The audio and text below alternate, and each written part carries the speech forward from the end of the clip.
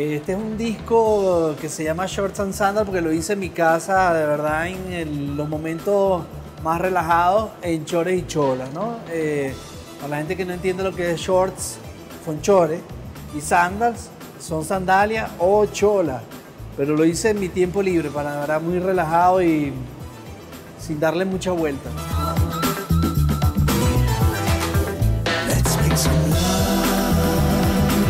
Me siento muy cómodo con el disco después de haber salido, o sea, de haber estado listo un año. De por sí fue consejo de la disquera no sacarlo antes porque venía disco nuevo de los amigos, pero me siento muy cómodo con el disco. Lo que sí fue que pasé un año sin escucharlo.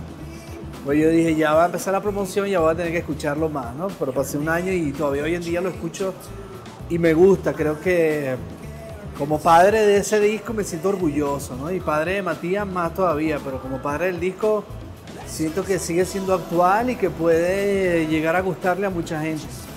Yo creo que lo primero que me llama a mí la atención de llamar a cada uno de estos artistas invitados es que yo escucho su música.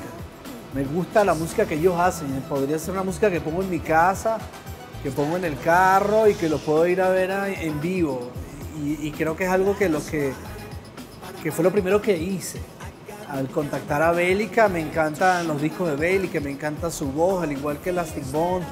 De Nuro soy ultra fan, además que él tuvo es, mucha confianza sobre todo en darme canciones que de repente no estaban listas para que yo las escuchara, pero ahí sobre todo el gusto musical a lo que ellos hacen musicalmente, primordial. Creo que, creo que no lo hubiese hecho así de no ser así, ¿no? De, por sí esta anécdota a lo mejor no viene al, al- al caso, pero hace un par de años un cantante venezolano que es bien reconocido, actor, me invitó a cantar en su disco y yo le dije, chamo, te respeto mucho tu trabajo, admiro tu trabajo, pero no, tu música no me gusta, no, no, no me veo cantando ahí, ¿no?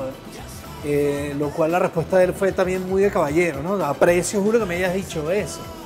Porque no es que porque tú seas famoso y yo soy famoso y juntamos la fama y vamos los dos, o sea, no.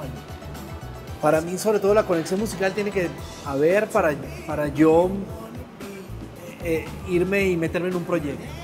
Yo creo que el que esté buscando algo que se parece a los amigos invisibles del disco de Chulius puede conseguir eh, lo que los amigos hacemos de manera más electrónica o más moderna, no tanto la onda caribeña bailable de Basilón. Está esa onda electrónica, vamos a llamarlo seria, pero no sé si sería la palabra, pero sí electrónica eh, 80, 90 que tienen los amigos invisibles.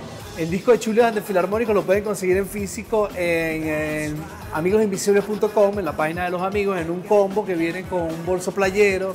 Viene el primer disco de Chulius, el, segundo disco de Chulius y viene un boarding pass firmado por mí en alguno de esos viajes que habré hecho con los amigos invisibles. Estuve a punto de ponerle un bronceador, pero como el disco salió en diciembre, no, no pegaba pues.